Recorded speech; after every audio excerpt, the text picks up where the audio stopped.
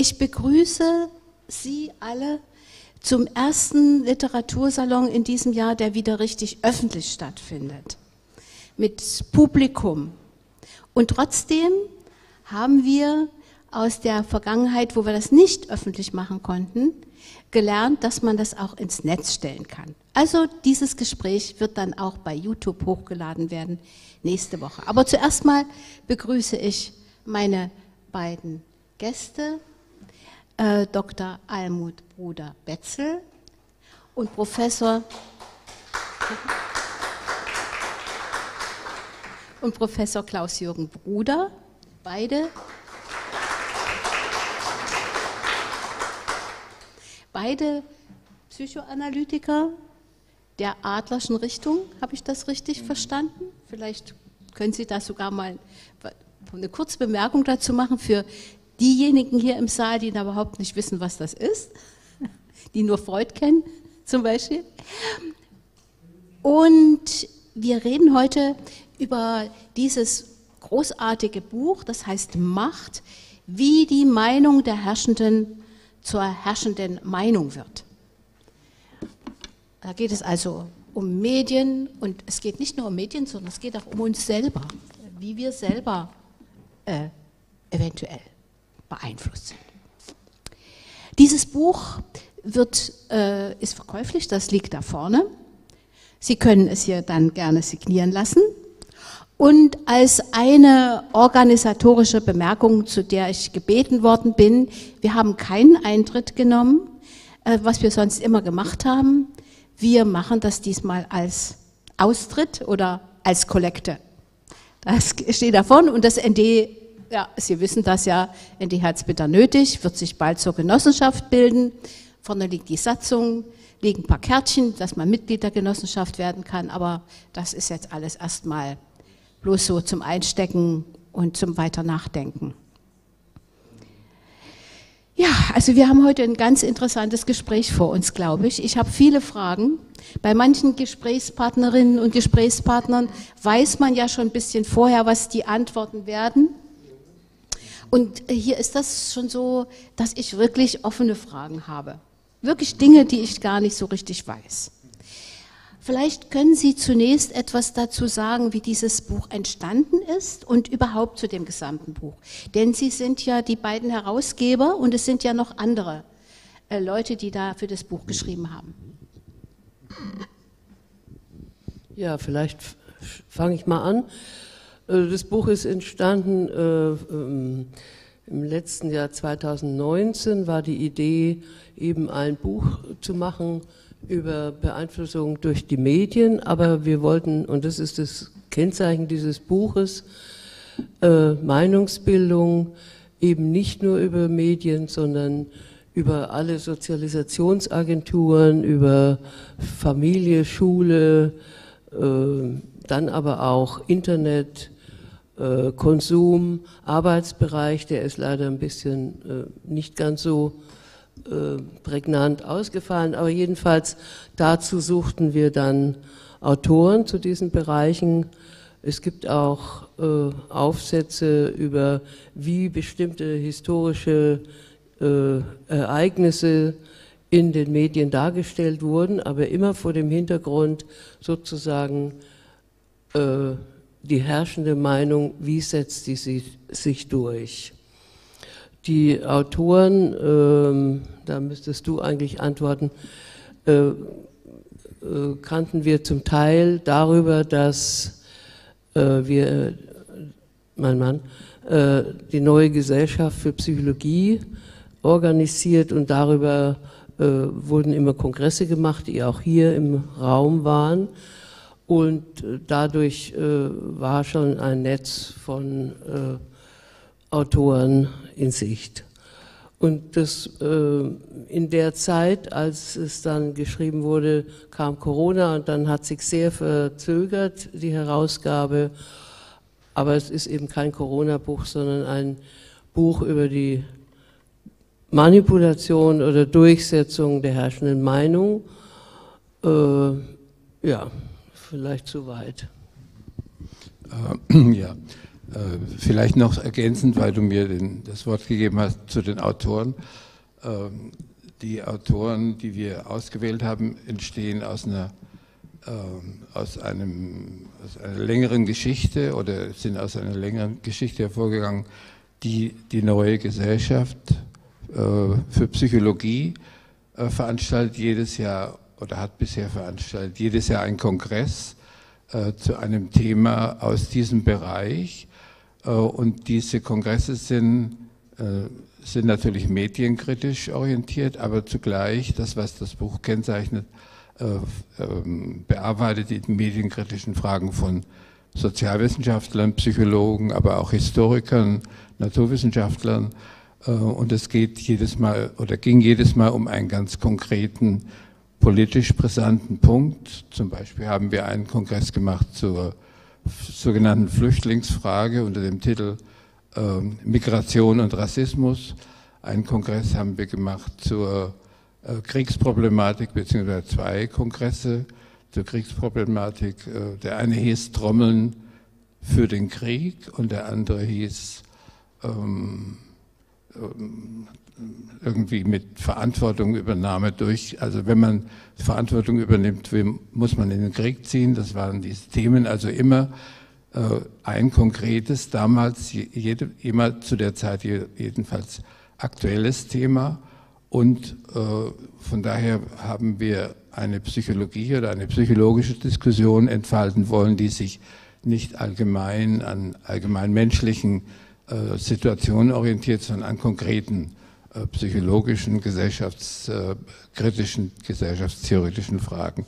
Und aus, in, diesem, in dieser Aufeinanderfolge der letzten zehn Jahre oder zwölf Jahre dieser Kongresse ist so ein gewisser Stamm von Referentinnen und Teilnehmerinnen entstanden, äh, aus dem wir ähm, Leute einladen konnten, aus dem wir einladen konnten, an diesem Buch mit, mitzuwirken.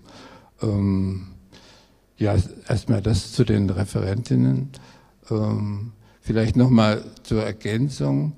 Das Wichtige ist, äh, dass wir nicht Medienkritik im engeren Sinn, so wie zum Beispiel äh, Albrecht Müller von den Nachdenkseiten versteht, Medienmeinungsmache, Meinungsmanipulation, sondern unser Ansatz ist, den weitere, das weitere Umfeld einzubeziehen, in dem Meinung gebildet wird. Es geschieht ja nicht nur durch die Medien, aber gleichzeitig kann man am Beispiel der Medien bestimmte äh, Prozesse, bestimmte Methoden äh, feststellen, die in dieser Meinungsmache, in der Bildung von Meinung im Interesse der Herrschenden, also das, die Beherrschten, die Nichtherrschenden übernehmen die Meinung der Herrschenden.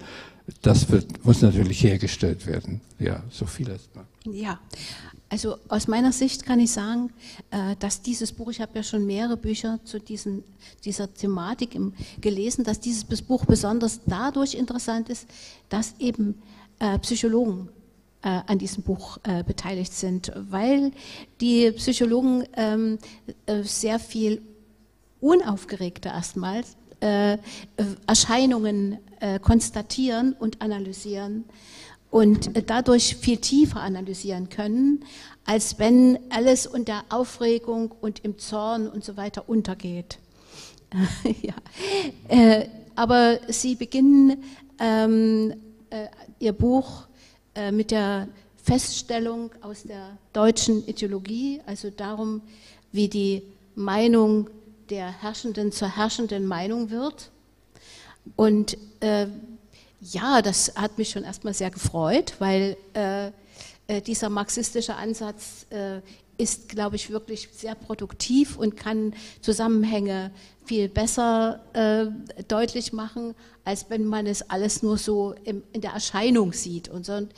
Ähm, und da habe ich mich schon mal wieder gefragt, ich weiß nicht, ob das überhaupt zu beantworten ist, äh, weshalb dieser Begriff Ideologie äh, so weitgehend verschwunden ist aus der öffentlichen Wahrnehmung. Denn also wenn man mit dem Ideologiebegriff kann man ja sehr viel erklären. Und, äh, aber er verschwindet es, er verschwindet hinter allen möglichen anderen Meinungen. Wie kommt das eigentlich?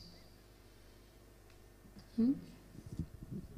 Also zuerst mal die naheliegendste oder sofort einem einfallende Erklärung wäre, ähm, Ideologie wird ja äh, landläufigerweise im Sinn von ähm, falsch oder schlecht oder idiotisch oder beschränkt oder bonierte Meinung verwendet.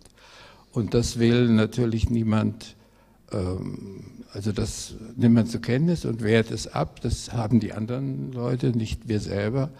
Die marxistische Vorstellung von Ideologie als äh, ähm, wie der Begriff so schön heißt, Überbau über der materiellen Produktion und Lebensverhältnissen, dieser Begriff geht dabei verloren oder wird dabei nicht berücksichtigt.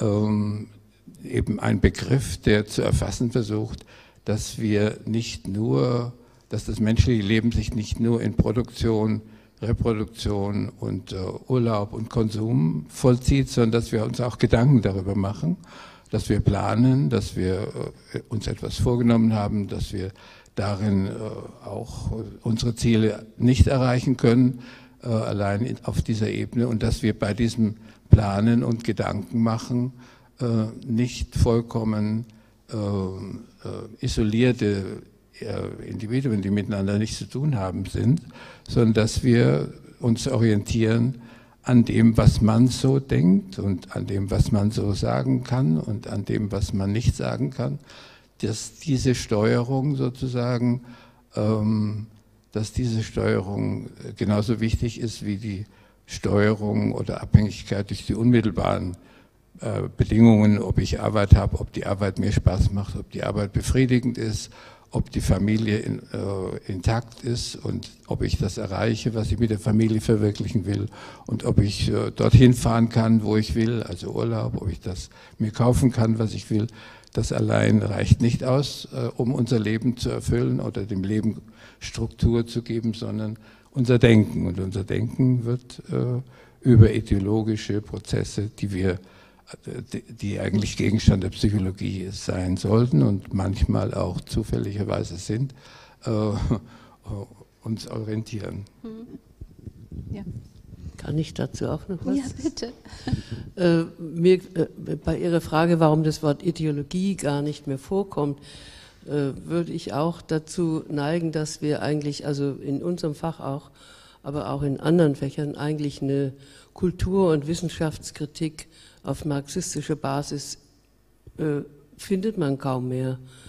Äh, also wir waren das von äh, früher gewohnt, äh, Psychologie äh, kritisch äh, zu betrachten auf ihren ideologischen Kern hin oder andere Wissenschaften. Und ich bedauere sehr, dass es eigentlich jedenfalls in unserem Umkreis nicht eigentlich kaum mehr vorkommt. Und deswegen kommt meines Erachtens auch der Begriff Ideologie äh, nicht mehr vor. Das ist eben ein Schimpfwort geworden äh, für Spinner oder so, was natürlich vollkommen Quatsch ist, aber ja, also die äh, komplizierten äh, Überlegungen zur Ideologie über entfremdete Arbeit, entfremdetes Leben, diese Kette wird einfach kaum mehr äh, verfolgt, außer natürlich in ganz internen Diskussionen. Ja, und dann denke ich, dass das schon selber Ideologie ist, dass der Begriff so weit weggeschoben wird. Und ein zweiter Begriff, äh, der mir jetzt schon wegen einem ersten Satz, mein Gott, ich kann hier ewig fragen, wir werden hier lange sitzen, nee, darf ich aber nicht. Ah, na gut, also der zweite Begriff, das sind die Herrschenden. Wo sind die denn? Wer sind denn die Herrschenden? Ja, da werden die meisten Leute sagen, oh, ja, das ist jetzt gerade mal Merkel. Merkel. Ja, also die, die Herrschenden, wo sind die Herrschenden?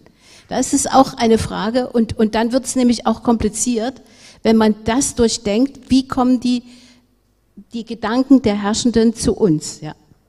Also ein Wort zu den Herrschenden vielleicht. Ja, vielleicht. Achso, das eine wollte ich noch ist mir wieder ein Marx-Zitat untergekommen. Da heißt irgendwo, äh, die Klasse, die die materielle Produktion in der Hand hat, hat auch die Disposition zur geistigen Produktion. Genau. Ich finde, das ist ein Schlüsselzitat, äh, dass dadurch die herrschenden Gedanken, äh, her ja. Äh, die herrschende Klasse ihre Gedanken zu den Herrschenden macht. Gedanken heißt dann auch ihre Ideologie, ihre Interessen die Herrschenden, wo sind die? Jetzt äh, ich, aber ich zitiere jetzt jemanden, dann wäre ich nicht. Äh, jedenfalls die Herrschenden äh, schon 1922 hat Edward Bernays, das ist einer der Massenkommunikationsforscher der frühen Zeit von Amerika, äh, hat ganz klar gesagt, Manipulation gehört zum Grundbestand der demokratischen Gesellschaft und wir werden von einer verborgenen Regierung regiert und diese verborgene Regierung lenkt und formt unsere Interessen. Also es ist kein Marxist, der Bernays, äh, sondern das Gegenteil. Ähm, ich bin jetzt etwas vorsichtig deswegen, weil das natürlich heutzutage als Verschwörungstheorie äh, gebrandmarkt werden würde. Die Herrschenden sehen wir nicht so deutlich. Das ist die verborgene Regierung, würde ich sagen. Ja. ja das ist eigentlich schon, ähm, schon ziemlich ausreichende Vorstellung, wenn man es von der anderen Seite her betrachtet, äh, unter der Annahme, dass äh, der gesellschaftliche Zusammenhalt, die Organisation der Gesellschaft, des, des Zusammenlebens äh, durch Herrschaft reguliert wird, äh, dann kann man äh, sagen, wer sind die Herrschenden? Sind die irgendwo in die, also sind, Men sind natürlich Menschen, die Herrschenden sind Menschen, aber was wir sehen, ist eigentlich nur äh, der Apparat beziehungsweise die äh, mittleren bis äh, kleinen oder höheren Angestellten äh, und Agenten dieses Apparats. Die Herrschenden selber, wie Almut schon sagte, die sind unsichtbar. Man kennt sie in den seltensten Fällen, meistens wenn man Fatzleser ist, äh, kennt man sie aus den Todesanzeigen, dann man staunt da, welche, welche äh, vielseitig verzweigten, vernetzten Persönlichkeiten dort äh, ihr Leben beendet haben, in hohem Alter meistens, mit großen Verdiensten und von vielen Leuten hoch geehrt, aber bisher hat man sie nicht gekannt. Also die Herrschenden äh, sind, die existieren natürlich, solange es Herrschaft gibt, aber es ist immer ein schönes Spiel, das dann getrieben wird, wenn man die Herrschenden sich vorstellt als Strippenzieher oder als Leute, die uns an den Fäden haben. Das bringt man gerne in die Diskussion, um diese Vorstellung überhaupt zu diffamieren, um die Illusion sozusagen mit einer mageren empirischen Basis zu versorgen, dass wir natürlich nicht beherrscht werden von niemand, sondern Individuen vollkommen freier Entscheidung sind. Wir nehmen allenfalls Rücksicht auf äh, natürliche Notwendigkeiten, zum Beispiel wenn es ein tödliches Virus gibt, dann muss das natürlich bekämpft werden. Aber sonst äh, das ist ja auch keine Herrschaft, sondern das ist eine medizinische Anweisung. Ja, so viel zur Herrschaft. Ja, also das ist jetzt schon so ein Punkt, äh, wo wahrscheinlich auch schon wieder die Persönlichkeitspsychologie ins Spiel kommt. Denn ähm, viele Leute wehren sich jetzt gegen so eine Vorstellung. Ich weiß nicht, ob, ob Sie hier im Saal, wie Sie das empfinden. Es gibt ja noch den Begriff des tiefen Staates, der das auch, äh, der das auch ähm, äh, begreifbar machen will, dass es also hinter dem Vorhang des, der, der politischen äh, Funktionäre, äh, der politischen, des Personals noch etwas gibt. Können wir jetzt sagen, die Lobbyisten, ja, aber das ist noch mehr. Und ähm, äh, da äh, gibt es auch eine, eine Aversion, weil man das Gefühl hat, Mensch, also das kann doch nicht sein, dass ich hier so, dass ich hier so gegängelt werde. Und, äh, und dann möchte man diese Vorstellung, dass es das gibt, überhaupt erstmal völlig in Bausch und Bogen ablehnen. Das ist wahrscheinlich normal, ne? Ja. Ähm, ja, ja. Äh, und es lebt sich wahrscheinlich auch leichter. Lebt es sich leichter ohne dieses Wissen? Was meinen Sie? Ja.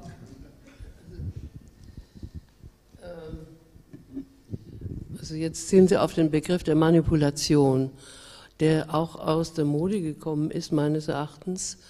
Äh, jedenfalls ist äh, der Begriff und diese, äh, wir werden gelenkt von einer Regierung oder von herrschenden Klasse, ist natürlich eine Kränkung wir definieren uns als autonome Subjekte und äh, andere meinen, äh, wollen uns nachweisen, dass wir gelenkt werden.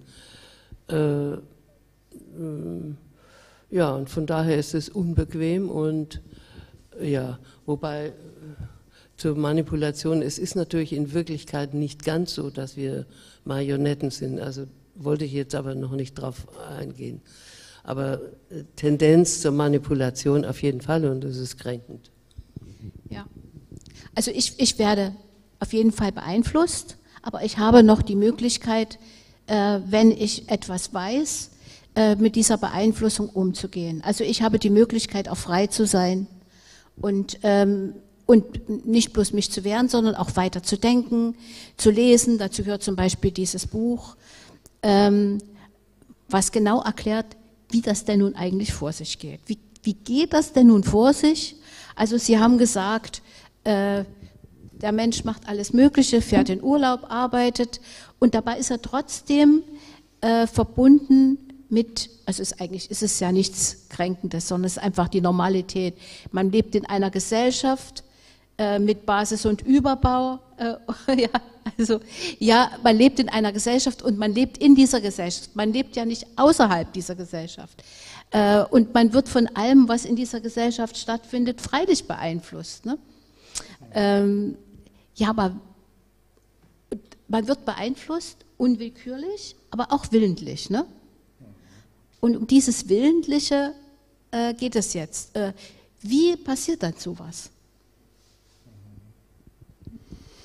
Also das ist ja eigentlich ähm, eine Frage, die, äh, die das gesamte Buch durchzieht. Also mhm. man kann jetzt, wir könnten das Buch jetzt äh, referieren, aber und das Buch ist ja nicht das einzige, das zu dem Thema Stellung nimmt. Also es ist eine ganze Bibliothek, die sich mit dieser Frage beschäftigt. Man kann immer nur pünktchenweise rangehen.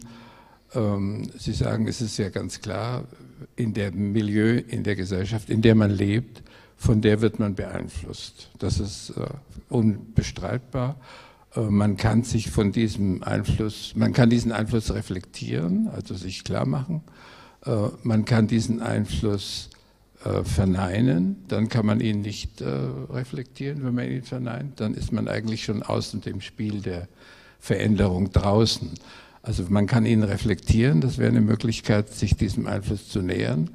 Und man kann, ähm, man, also es ist eigentlich der Gegenstand jeder philosophischen oder weltanschaulichen Reflexion, sich äh, diesen Einfluss äh, oder das, was man tut, na, unter diesem Einfluss zu, äh, zu betrachten. Und die Illusion, dass man unabhängig ist, wird zwar immer wieder neu äh, reingebracht in die Diskussion, in die Diskussion, aber die ist äh, eigentlich uninteressant. Denn interessant ist ja, warum, was sind die Grenzen, äh, die ich nicht sehe. Es, es, gab mal in den 70er Jahren, vielleicht kennen äh, manche von Ihnen noch diesen Spruch, Grenzen spürt, wer sich bewegt. Also die Grenzen spürt man eben meistens nicht, wenn man still sitzt, wenn man, äh, wenn man äh, ja, funktioniert, konform ist. Äh, sich bewegen hieß damals jedenfalls sich ähm, bewusst ähm, nicht im Strom bewegen, sondern gegen den Strom zu schwimmen oder, oder mal äh, den, die Bewegung des Stroms auch erstmal zu reflektieren. Also Grenzen spürt, wer sich bewegt. Dieser Spruch ging davon aus, dass es Grenzen gibt und dass es nur eine Frage der Wahrnehmung ist, ob wir sie sehen oder nicht. Und es gibt viele Mechanismen von Seiten äh, der Organisation der Gesellschaft, also von Seiten der Herrschenden, kurz gesagt, äh, uns diese Grenzen nicht spürbar zu machen. Also die äh, jedenfalls vor, den, vor der Zeit der letzten 18 Monate konnte man sagen, es ist, es ist für viele Leute, für viele Menschen in unserem, in der europäischen oder in Zentraleuropa, wie man zu Deutschland inzwischen gerne sagt, ist es so, dass man diese Grenzen nicht spüren muss, weil man alles, es wird alles immer bequemer. Vor allen Dingen Digitalisierung und, äh, und Überwachung werden eigentlich äh, als Mittel äh, akzeptiert und angenommen, sich selber komfortabler zu bewegen in, diesem, äh, in dieser Gesellschaft. Also auch wieder ein Mittel oder eine Möglichkeit, Grenzen nicht spüren zu lassen. Man spürt dann die Grenze, wenn man, wenn man Zumutungen, die manchmal doch auftreten dabei, ähm, nicht verfolgt, also wenn man die nicht oder befolgt, wenn man aufgefordert wird, äh, äh, etwas zu bezahlen nur über Scheckkarte oder wenn man aufgefordert wird, über Pen, Pol, Pol, PayPal. PayPal zu zahlen und dann wird man aufgefordert, das Geburtsdatum anzugeben und so weiter, dann fragt man sich, was ist hier eigentlich los? Das sind so Momente, wo die Grenzen, die Tatsache von Kontrolle und Überwachung auftauchen, die wir eigentlich äh, in den meisten Fällen nicht sehen. Durch die, durch die letzten 18 Monate wurde das äh, drastisch verschärft, dass wir äh, ständig darauf hingewiesen wurden, was wir tun müssen und was wir nicht tun dürfen. Natürlich medizinisch begründet, aber diese medizinische Begründung äh, ist ja eine Begründung, die ihre, ihre Diskussionsfähigkeit, ihre, ihre Beweislast schuldig geblieben ist. Von daher war das natürlich für viele möglich, das als Grenze zu erleben. Mhm. Ja, äh, Grenzen spürt, wer sich bewegt. Das ist, also ich kannte den Spruch noch nicht. Kommt er aus der linken Bewegung? Ja, ja ne?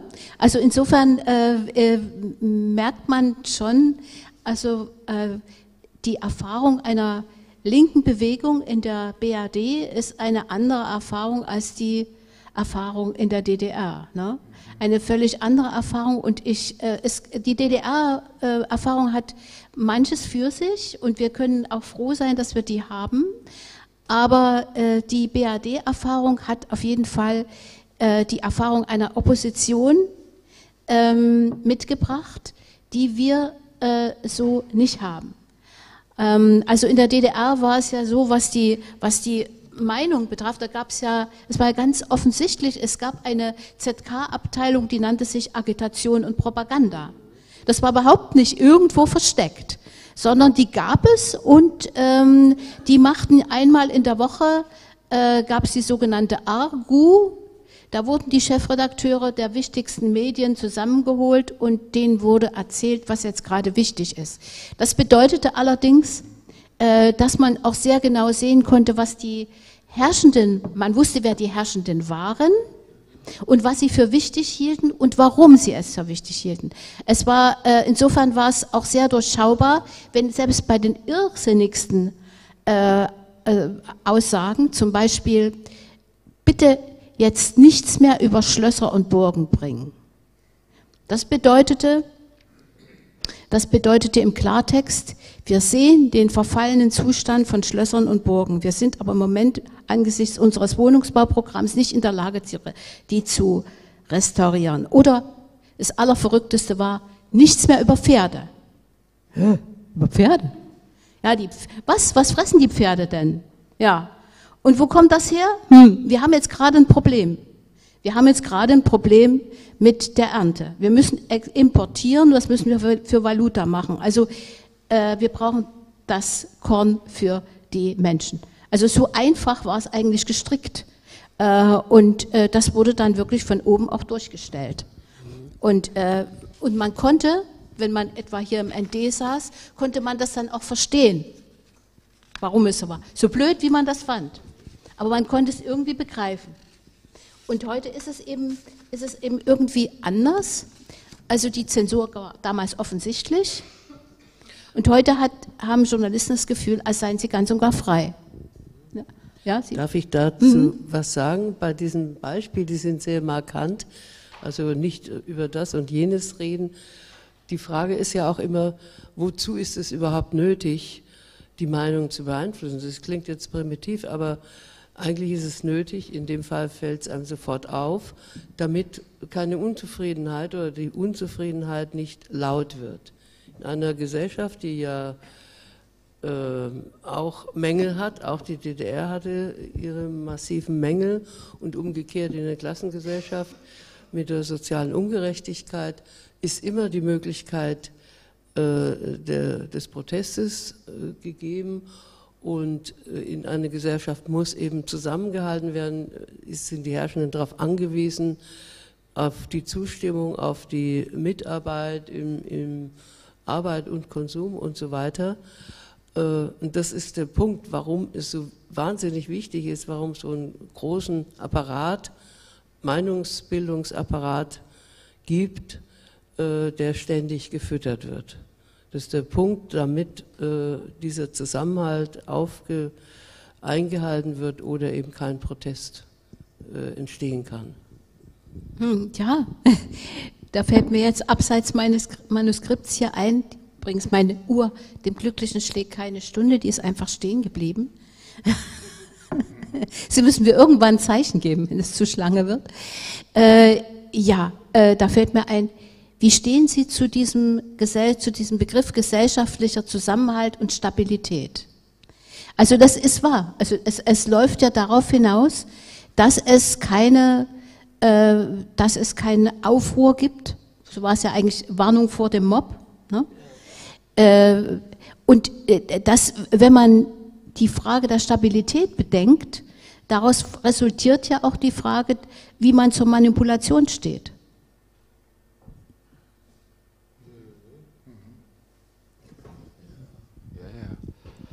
Hm. Ja, also erstmal, ich, ich, war noch auf einem anderen Gedanken, aber jetzt erstmal dazu. Äh, zur Manipulation steht man je nachdem, auf welcher Seite der Manipulationsdiade äh, mhm. man steht, um es mal etwas schematisch zu sagen.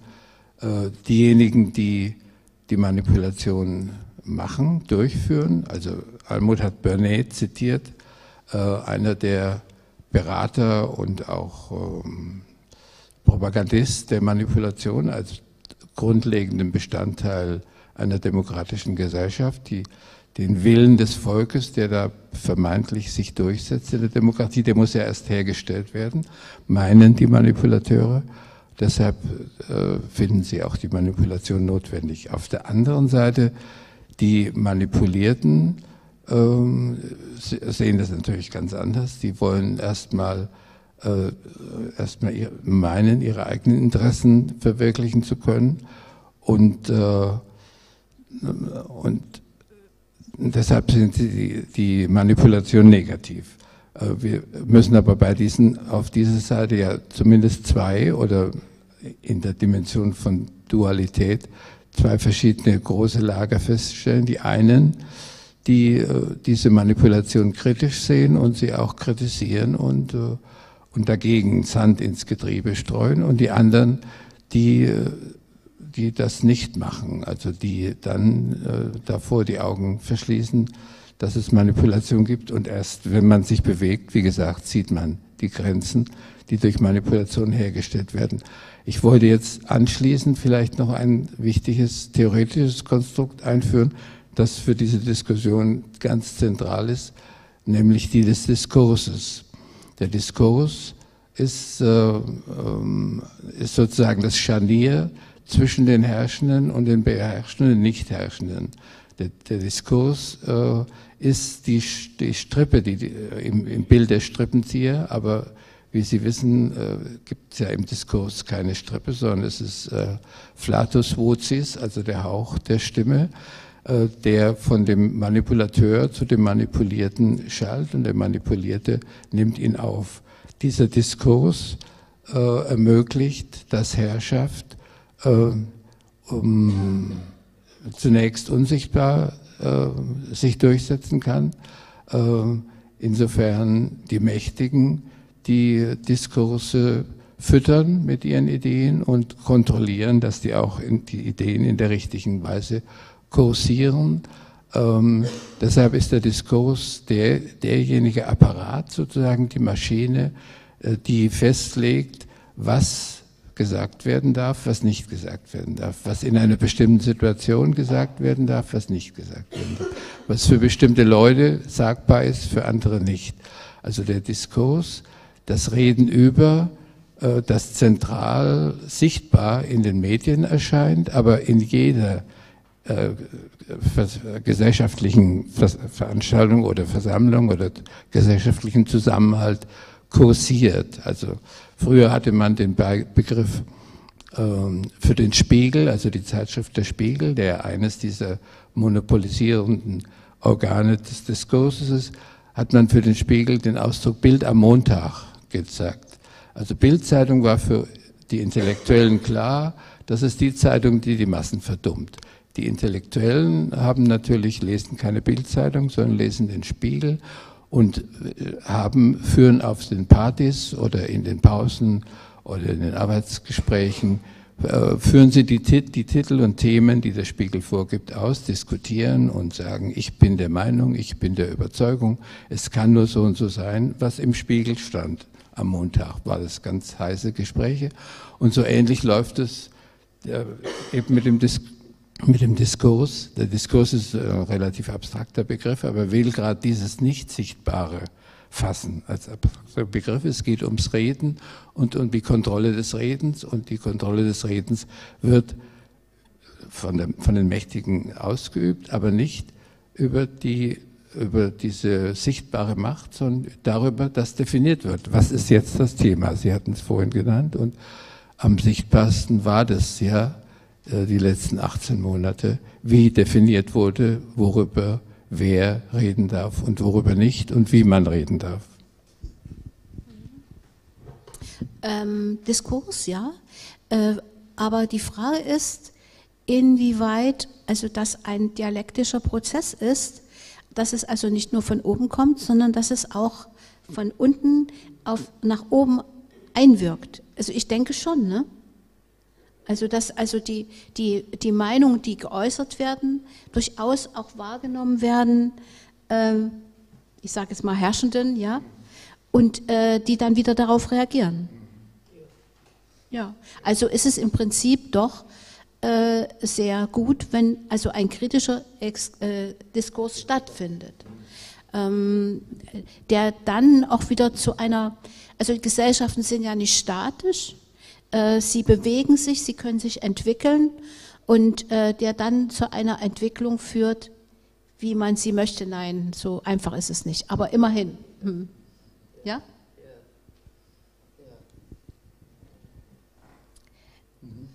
Es ist schon klar, dass, äh, der, äh, was Sie ansprechen, dass dieser Diskurs hin und her geht.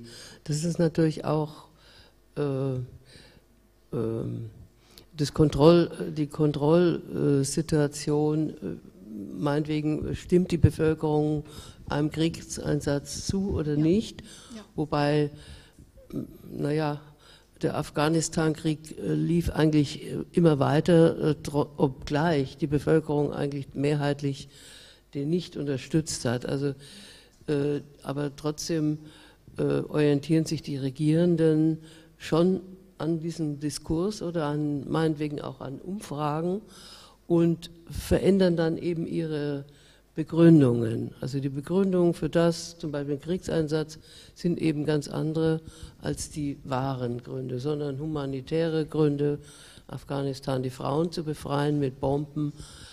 Und, und dadurch äh, wird es wieder stillgestellt, dieser Protest. Ja.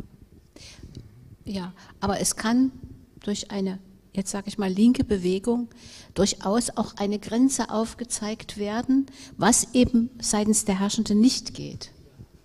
Also wo eben die, wo, ja, also und, und deshalb ist es so wichtig, dass die stark ist. Ja, ja jetzt, äh, Sie können, wenn Sie das Buch lesen, äh, können Sie äh, genaue, genaue, genaue äh, Beschreibungen lesen, wie genau eben sich Ideologie, Ideologie durchsetzt, welche Möglichkeiten es gibt, welche Möglichkeiten der Manipulation auch in den Medien es gibt. Aber vielleicht können Sie das hier für diejenigen, die das Buch noch nicht gelesen haben, noch mal kurz irgendwie zusammenfassen. Welche Möglichkeiten gibt es, ähm, die Leute dazu zu bringen, das zu denken, was sie denken sollen? Ja, also es gibt verschiedene Institutionen und Agenturen, das ist die eine Seite, aber die andere Seite, wie äh, wird das durchgesetzt? Da gibt es ganz verschiedene Methoden. Äh, ich kann jetzt nur beliebig nennen, also das eine ist die kognitive, also die Ratio ansprechen, die Argumentation schärfen. Dazu gehört aber auch, äh, dass äh, in der Gesellschaft also um wirkungsvoll zu sein, soll, müsste möglichst ein Informationsmonopol bestehen, also das heißt eine Gleichschaltung der Medien, wenn es über Medien geht. Und äh, was Pioniere der Massenkommunikation auch empfehlen, äh, die Menschen mit Information überfluten oder fluten, was wir jetzt ja zurzeit auch ständig wahrnehmen. Aber auch die Medien, äh, die Journalisten äh, fluten mit Informationen. Das andere, die großen äh, Einwirkungen auf, sind natürlich emotionale Mittel und dazu gehört eben einerseits in ganz starkem Ausmaß Angst, aber auch äh, äh, Schüren von Moral, also Moral zum jetzt im Moment äh, Solidarität, aber auch äh, Moral, Scham und Schuldgefühle, schlechte Gewissen, also die emotionale Ebene ansprechen. Und dazu gehört auch Aggression. Das ist ganz stark, dass ein, äh, die Gesellschaft häufig äh, gespalten wird in Gut und Böse und äh, dass eben äh, bestimmte Menschengruppen zu Feinden erklärt werden. Ähm, entweder die Linke oder die Rechte oder die Flüchtlinge oder also es gibt eine breite, breite Band, eine große Bandbreite. Die Feinderklärung äh, hilft, äh, die anderen Menschen zum Zusammenhalt zu bringen. Dann gibt es natürlich, äh, ganz wichtig sind natürlich äh, Sprech, äh, Bedeutung von Sprache, also die Sprache zu beeinflussen, äh, Sprachregelungen äh, einzuführen, also äh, ja, äh, da über Sprache gut und böse zu trennen. Dann natürlich äh, grundlegend sind natürlich für die Beeinflussung Strukturen, Strukturen in der Arbeit, Strukturen im Konsum, ähm, äh, auch gewaltförmige Strukturen. Äh, ja, also das sind Mittel, äh, Instrumente der Beeinflussung. Also da müsste man ganz viel aufzählen. und natürlich dieses ständige Wiederholen der gleichen, gleichen Sache. Ja, erstmal soweit. Mhm. Vielleicht noch eine äh, Ergänzung. Die, ähm, man kann dieses, es geht ja hier, was Amut dargestellt hat, um Sprache, Sprache, also äh, Meinungsbildung durch, über Sprache. Ähm, die, man kann die, die Sprache oder eine wichtige Betrachtungsweise von Sprechen und von Sprache ist, dass man äh, eine Differenz einführt, äh, die, äh, die bei, ähm, bei Adler, Sie haben vorhin Adler genannt, oder bei Lacan, der ist vielleicht noch bekannter, äh, zwischen dem, was in, in der Sprache im Sprechen gesagt wird und dem, was nicht gesagt wird, aber mitgedacht wird. Diese Differenz ist deshalb wichtig, weil der Empfänger der Botschaft, der arbeitet nach demselben Prinzip. Er nimmt einerseits wahr, was gesagt wird, aber er denkt sich sein Teil. Und dieses, äh, diese Kombination oder diese Verbindung ähm, ist für die Wirkung von äh, sprachlicher Manipulation oder von Meinungsbildung ganz zentral. Äh, die äh, ist auch der Grund dafür, warum man in den Diskurs einsteigen kann und kritische Diskurse führen kann, aber warum die Diskurse Macht ausüben oder warum Macht über Diskurse ausgeübt wird. Man, dass man, das werden Sie beobachten, in den Medien jedenfalls ist am leichtesten zu beobachten, dass das, was gesagt wird, also das in der Sprachtheorie von de Saussure äh, signifikant genannte Teil des Sprechens, dass an dem die ganze Manipulation stattfindet, also was Armut aufgezählt hat, die Häufigkeit, es, wird, äh, es ist wichtig, immer wieder eine Parole zu wiederholen, äh, die Emotionalisierung der Parole, äh, die äh, ähm, äh, Autorisierung der Parole, indem man Experten sagen lässt, was zu sagen ist. Also Beispiel äh, der Virologe Drosten war ja nicht zufällig ein Virologe für diese Kampagne, äh, dass die, die Aktion, die aus dem Gesagten folgt, vorgegeben wird. Also wenn etwas so ist, dann muss man das und das machen.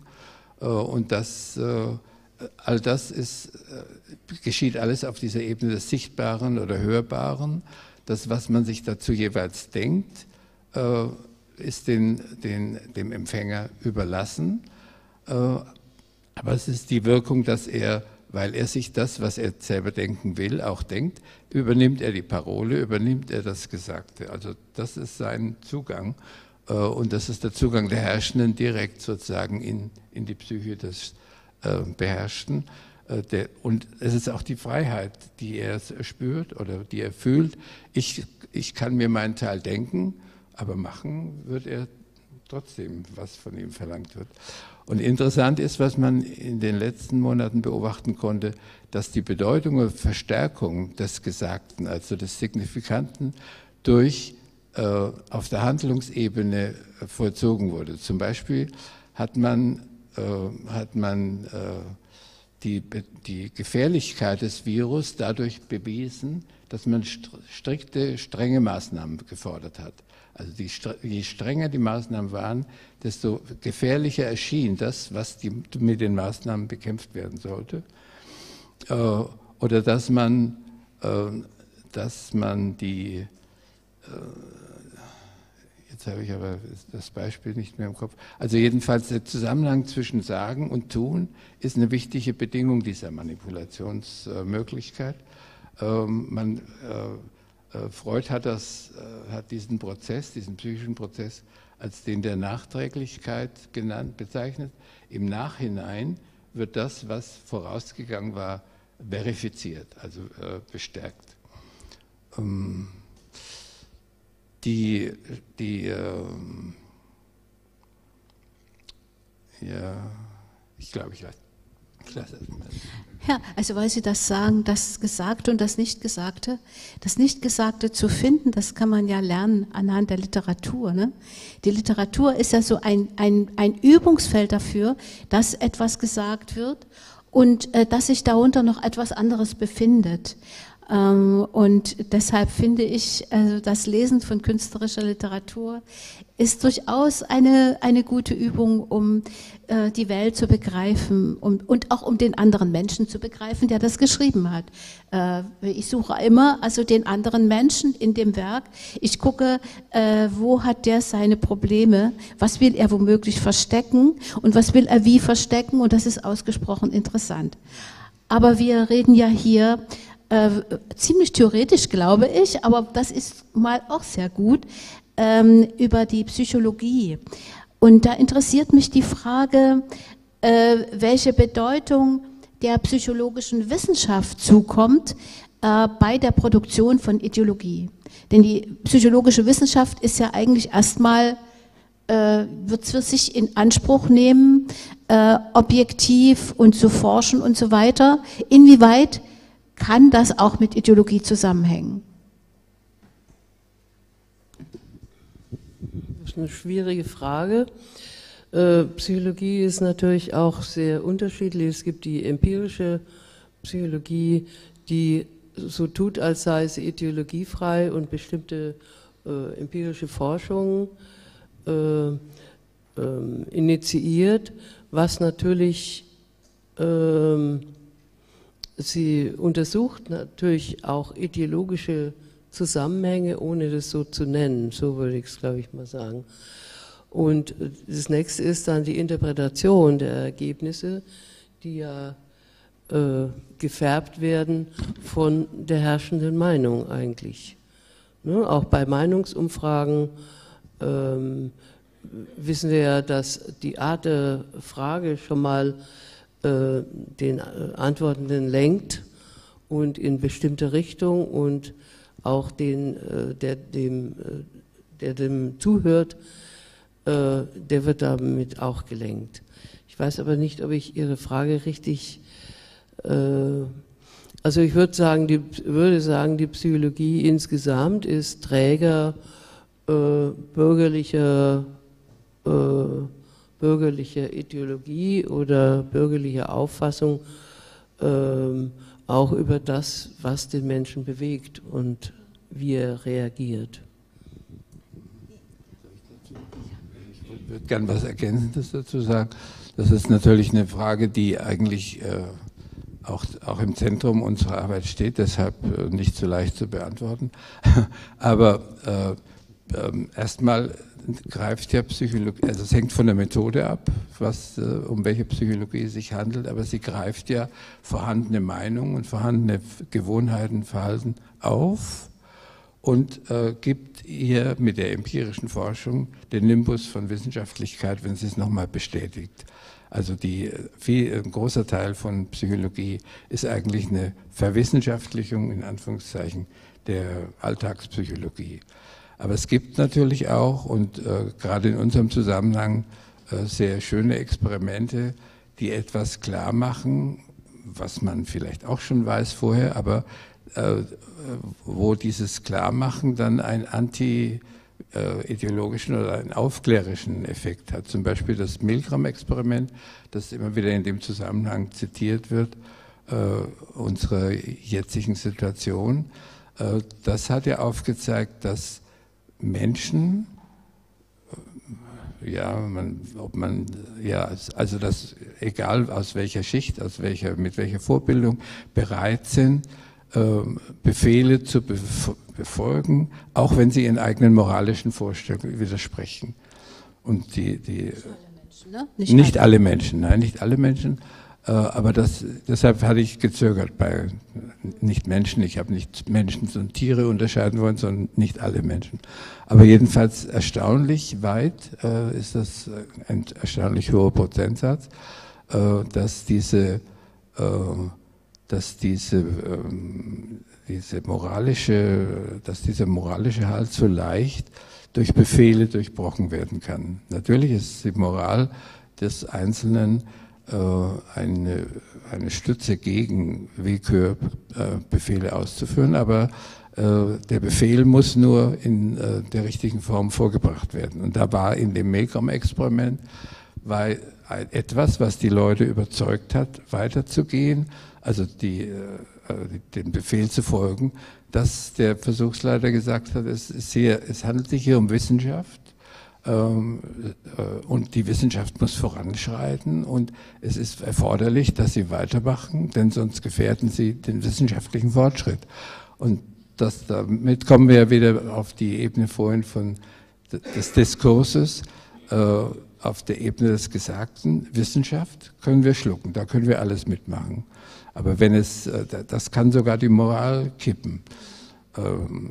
Ja, jetzt äh, ist es ja auch, es gibt ja auch im Augenblick viele Fragen, wo man moralisch äh, äh in die Bredouille kommt, wenn man das alles macht, was hier als notwendig äh, deklariert wird.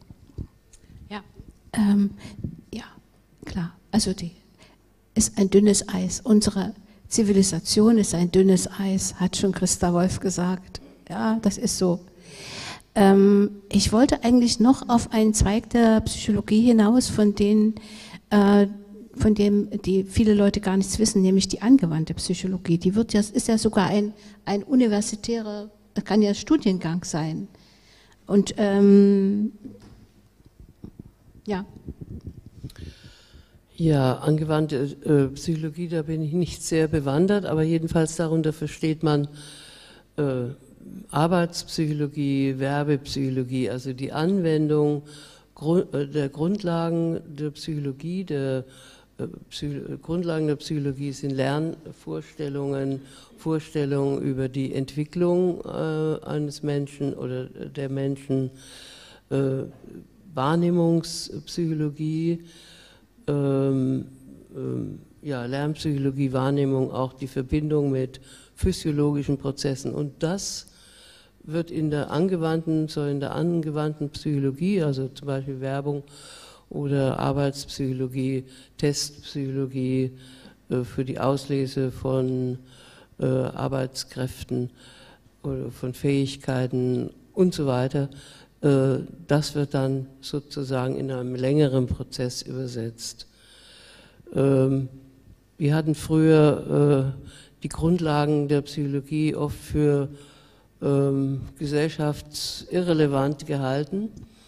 Wir haben immer gesagt, die äh, ist vollkommen für die Katz, äh, welche äh, Hautreflexe äh, bei einer bestimmten Behandlung äh, auftreten. Und wir wurden dann belehrt, also das ist aber auch schon länger her, Also es gab äh, einen Kongress 1968, äh, da trat ein Professor auf und äh, sagte, er macht Geruchspsychologie. Kannten wir auch nicht, was das heißt. Jedenfalls ähm, dachten wir dann natürlich äh, vollkommen eben nur für die Kosmetikindustrie oder was. Nein, er hatte begründet, äh, die gesellschaftliche Relevanz dieser Geruchspsychologie war, dass man im Vietnamkrieg Vietnamesen von GIs unterscheiden kann im Urwald und dann äh, entsprechend äh, militärisch sich verhalten kann. Das war dann die Gesellschaft, die angewandte Psychologie der Geruchsforschung.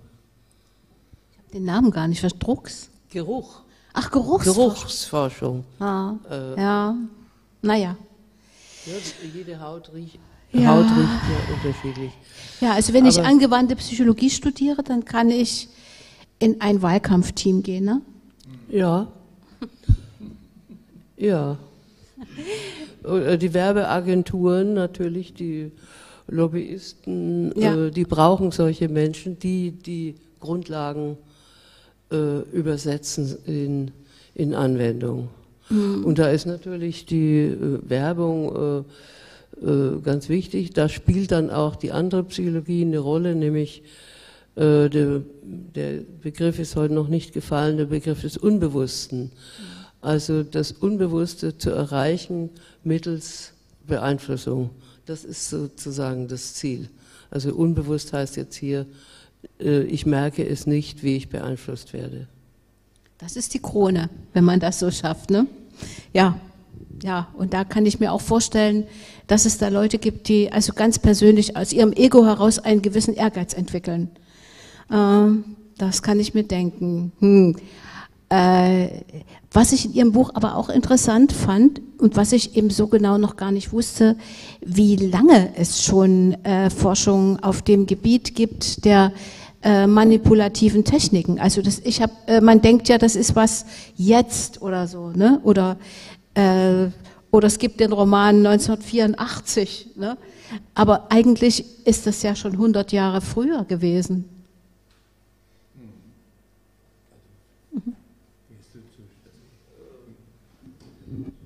Ja, es, es geht natürlich, also Sie äh, spielen jetzt an auf die Pioniere der Massenkommunikationsforschung, genau.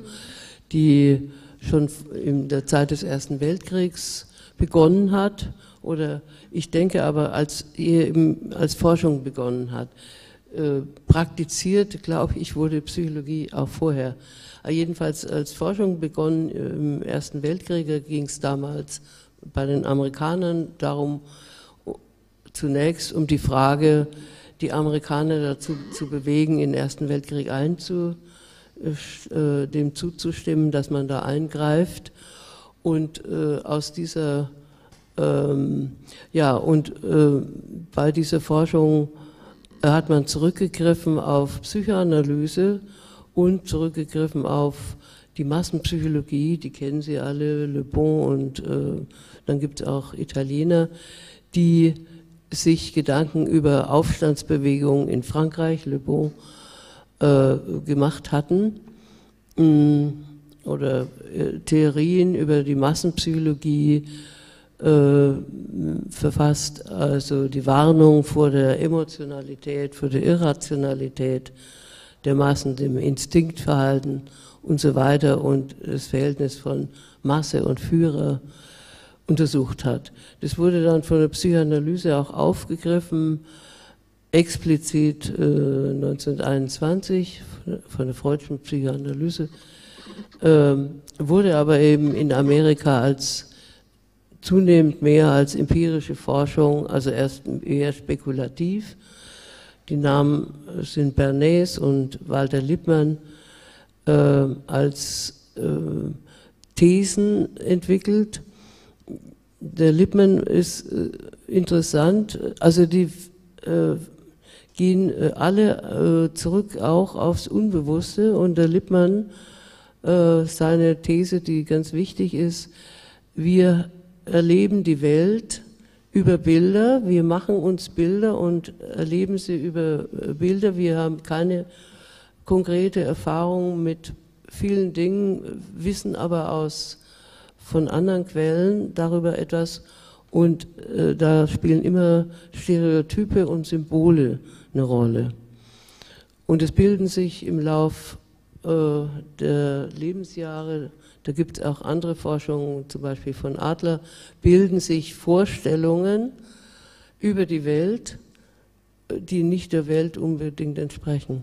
Aber diese inneren Bilder, auf die treffen die Einflüsse Manipulation, von daher ist Manipulation auch zu relativieren. Äh, die Einflüsse treffen auf innere Bilder.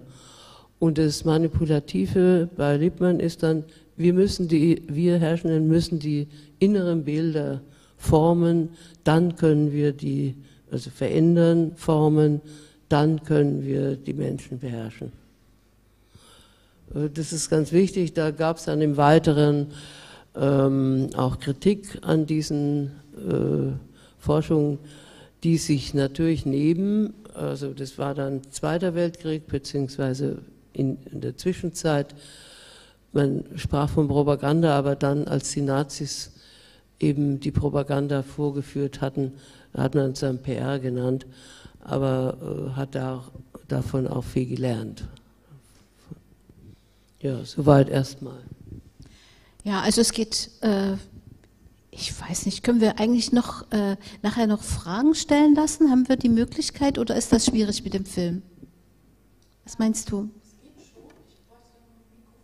Oh gut, aber ich mache noch, ich habe noch äh, zwei Fragen und dann vielleicht, wenn Sie noch. Hm? Jetzt ist eine Stunde, also das heißt, ich kann nicht mehr so lange reden.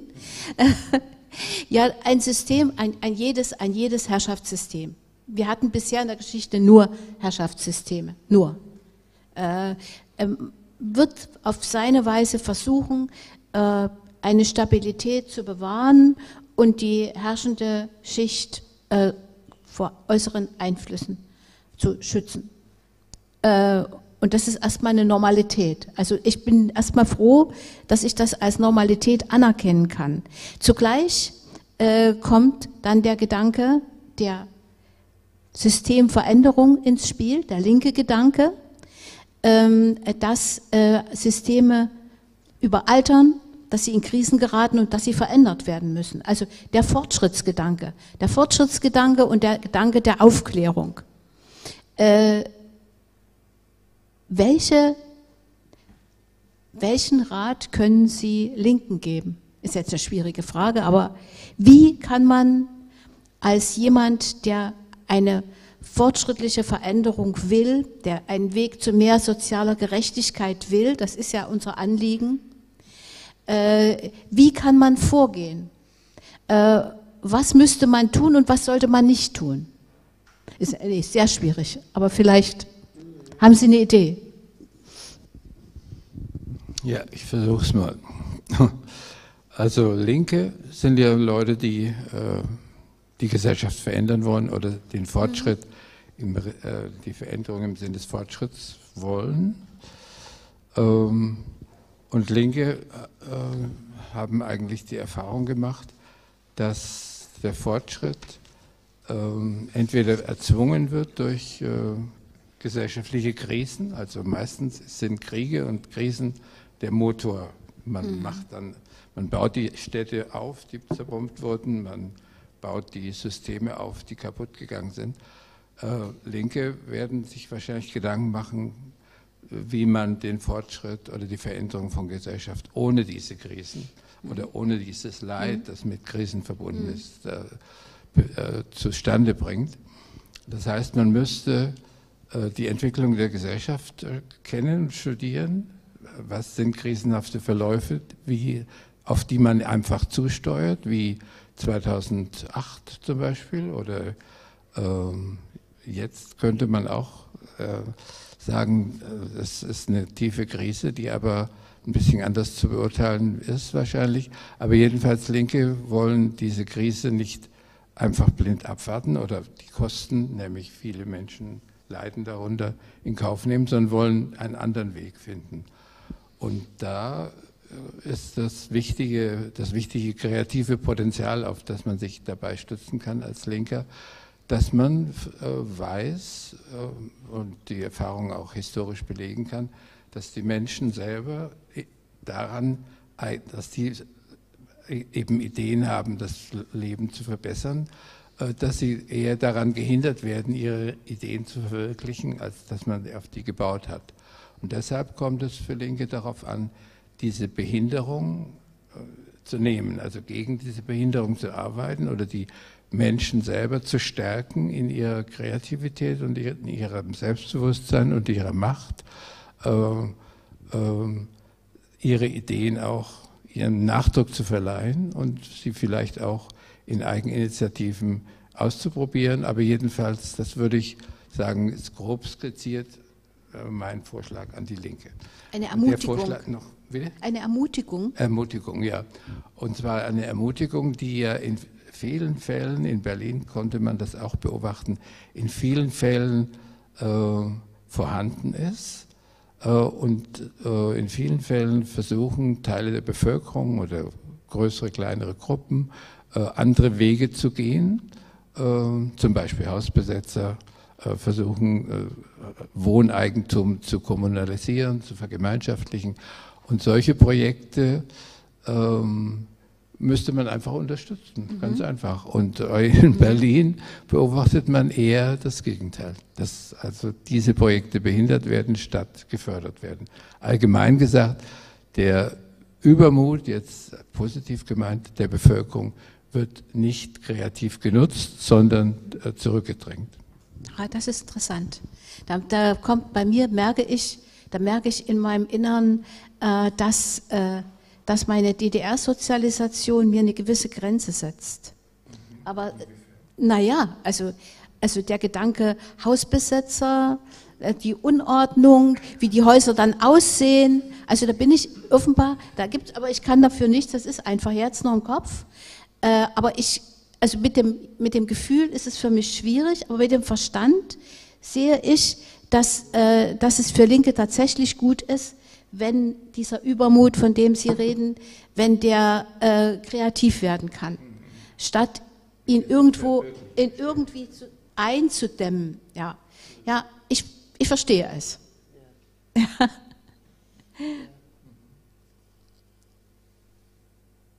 Noch was in der Hinsicht? Nee. Die Frage ist, äh, ja? Mir geht durch den Kopf, ob, es geht ja auch um darum, wie können Linke ihre Gedanken verbreiten. Ich, das war eigentlich mhm. ihr ja. und Anhänger finden. Mhm. Und da ist mein erstes, aber ich bezögere das sozusagen, äh, schon mehr zu vertrauen auf die Rationalität, äh, Zusammenhä äh, äh Rationalität der Menschen eben in der, in, jetzt nenne ich es mal Agitation, äh, rationale Zusammenhänge aufzuzeigen Hintergründe und Zusammenhänge zwischen äh, negativen Erlebnissen, negativen Erfahrungen und äh, der gesellschaftlichen Wirklichkeit eigentlich.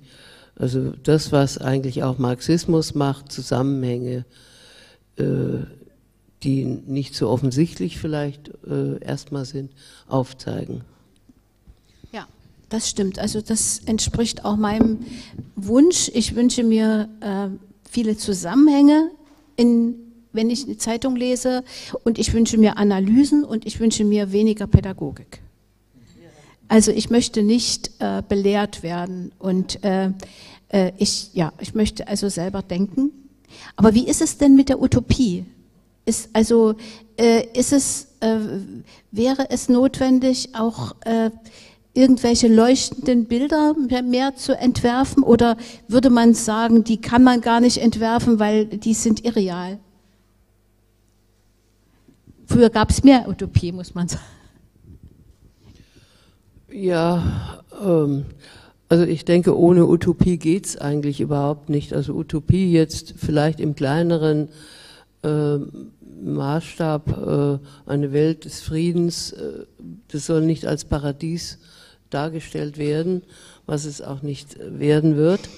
Aber utopische Überlegungen, also wo es hingehen soll, um es mal einfach auszudrücken, wo, was wir wollen, äh, Gleichheit, äh, Ungerechtigkeit aus ähm, äh, beseitigen und da die Wege und Zusammenhänge, warum es die nicht gibt bisher und die Wege, wie es gehen könnte, das herzustellen. Also von daher würde ich schon Utopien äh, im Eigen oder Visionen meinetwegen, sagt man heute, äh, würde ich auf jeden Fall für notwendig halten. Eine Frage, die jetzt schon wieder ein bisschen in eine andere Richtung geht, die, mich, die mir aber auf dem Herzen liegt. Ähm, meinen Sie, wenn man Kinder in Liebe und Achtung erzieht, ohne Gewalt, grundsätzlich ohne Gewalt ihre Persönlichkeit achtet, äh, dass das auf die Gesellschaft Auswirkungen haben kann im Sinne eines Fortschritts?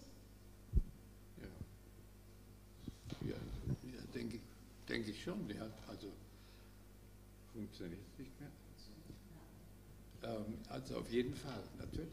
Mhm. Es wird ja nur, das Problem ist wahrscheinlich nur, dass es, äh, dass diesen Versuchen, Kinder in, in Achtung und, äh, und uh, Unabhängigkeit uh, aufwachsen zu lassen, dass denen ständig Behinderungen entgegengesetzt werden. Ja, später, aber wenn sie noch klein sind, also ich, ich sehe das, ähm, äh, dass es ein völlig anderes Paradigma ist, mit Kindern umzugehen als äh, es das früher war.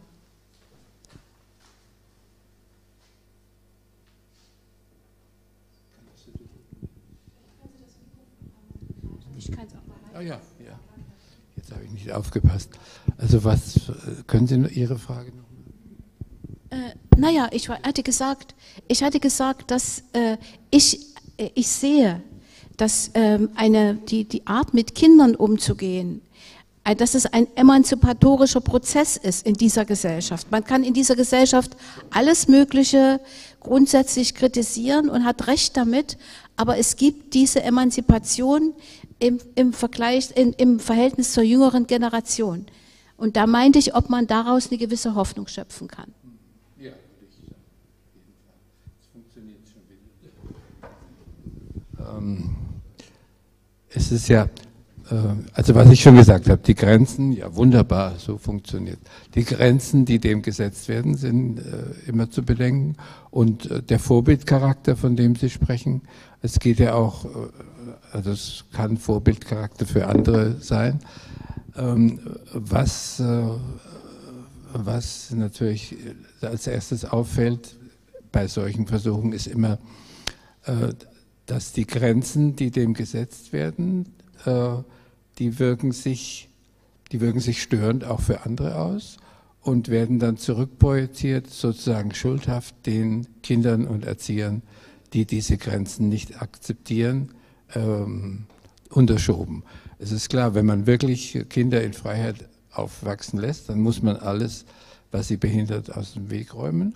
Und dann werden die, die Freie, den Freiraum natürlich nehmen. Sie werden ihre Stimme ausnützen, sie werden ihren Bewegungsdrang ausnützen. Und das stört vielleicht die anderen. Und je, je rigider oder kinderfeindlicher, sagt man ja heute, eine Gesellschaft organisiert ist, desto mehr stört das und das schlägt dann wieder zurück. Also äh, es gab ja den Ausdruck mal, dass Kinder äh, zu, zu Terroristen erzogen würden auf die Weise äh, ja, sie terrorisieren die Eltern, die aber wiederum nicht aus Böswilligkeit äh, ihre Kinder einschränken wollen, sondern die sind durch die Verhältnisse äh, überhaupt nicht in der Lage, den Kindern zu ermöglichen, was für ihre Entwicklung gut wäre. Ja, danke. Äh, noch eine ganz kurze Frage an Sie beide als abschließende und dann, äh, ähm, dann noch ein paar Fragen aus dem Publikum. Was ist Ihre Hoffnung?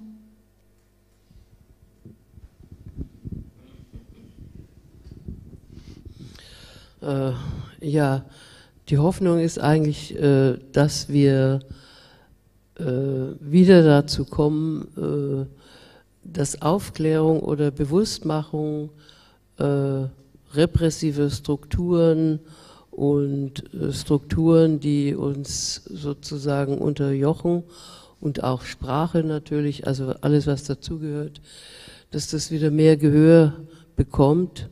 Wir erleben das so, dass äh, da ziemlich viel Niedergang äh, passiert ist im Lauf der letzten, sagen wir mal, 40 Jahre. Ähm, ja, und die Hoffnung, dass sozusagen mehr Menschen wieder aufwachen. Ja, kann ich nur zustimmen. Das ist schön formuliert. Danke. So, dann ähm, Fragen, Fragen, mal wirklich Fragen, ja? Sonst, wir können nicht lange, lange Referate können wir nicht machen, obwohl man jede Meinung ja unterstützen muss, aber Fragen. Man hört ja, dass äh, Gewaltanwendung von der Straße aus gegenüber Polizisten, gegenüber Rettungsteams, Feuerwehrleuten, diese Respektlosigkeit zunimmt, dass äh, protestierende Jugendliche, auch Linke, äh, sich nicht scheuen, äh, Molotow-Cocktails zu werfen, äh, mit Flaschen zu werfen. Ist das ein Zeichen dafür, dass sie in der Familie zu wenig zur Gewalt, äh, zum Gewaltverzicht erzogen wurden?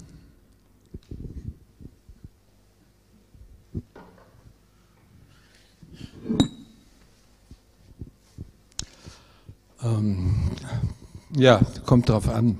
Also ähm, es, man müsste bei den, bei den Aktionen oder bei so Verhaltensweisen müsste man immer die Begründung dafür wissen. Man kann ja gewalttätig sein, äh, weil man verzweifelt ist, oder man kann gewalttätig sein, weil man, ja, wie Sie sagen, falsch erzogen ist und äh, sich nicht anders artikulieren kann.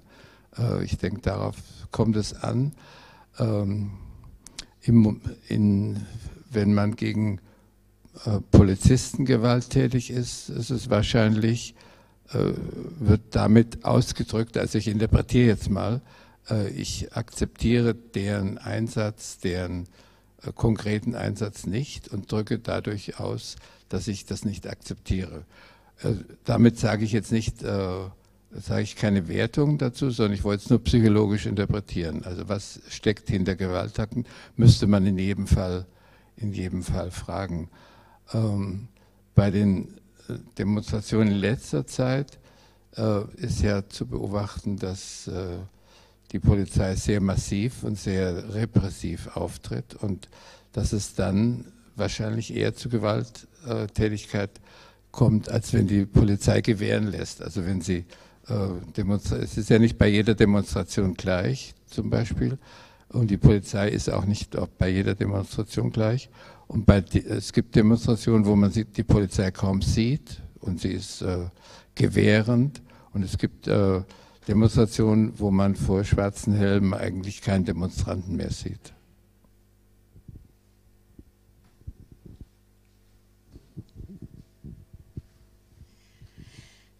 So, also es war eigentlich jetzt schon ein, ein schönes äh, Schlusswort.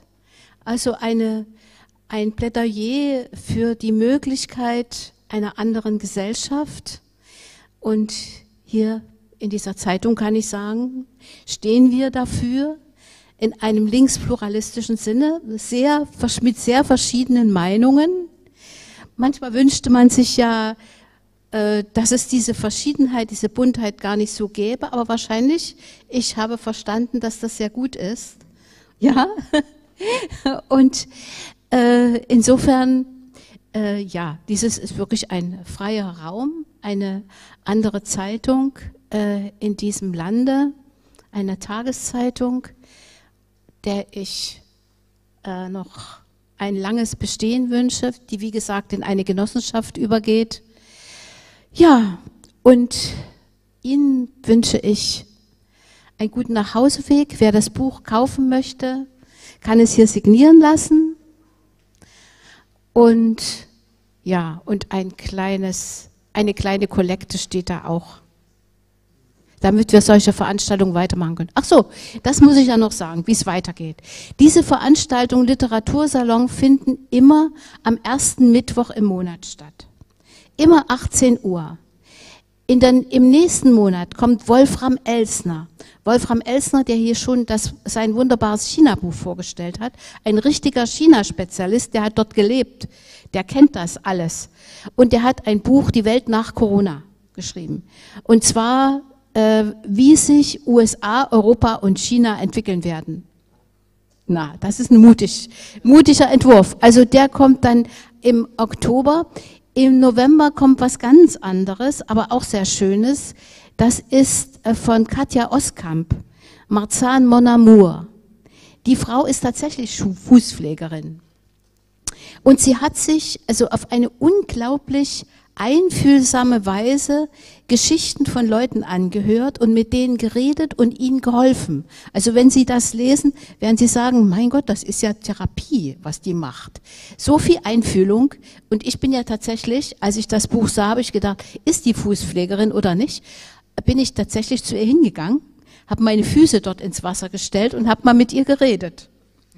So, und im Dezember, am 1. Dezember, kommt Stefan Weidner. Das ist ein, ähm, ein ganz blitzgescheiter Islamwissenschaftler, der in der ganzen Welt unterwegs ist äh, äh, und der uns etwas über die islamischen Länder und dann auch im Zusammenhang mit Afghanistan erzählen kann. Wobei ich sagen muss, die Afghanistan-Berichterstattung in dieser Zeitung ist überhaupt gar nicht schlecht.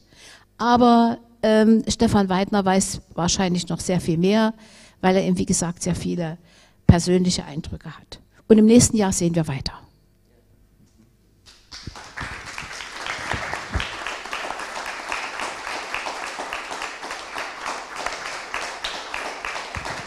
Und danke, danke, danke meinen beiden Gesprächspartnern auf dem Podium, dass sie gekommen sind.